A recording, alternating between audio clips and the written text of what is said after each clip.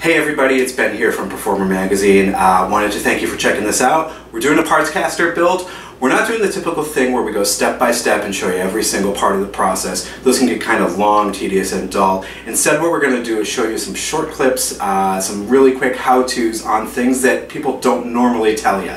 So here's the stuff that you know you might not see in the typical video, but will help you out when you're doing your own build. Uh, the first thing I want to share with you is we do have a downloadable Excel spreadsheet, uh, which is going to do two things. It's going to be a checklist, so you have all the tools and all the parts and all the hardware that you'll need to do your own partscaster build and it'll also have a built-in budget tracker which is great. So without further ado let's get started.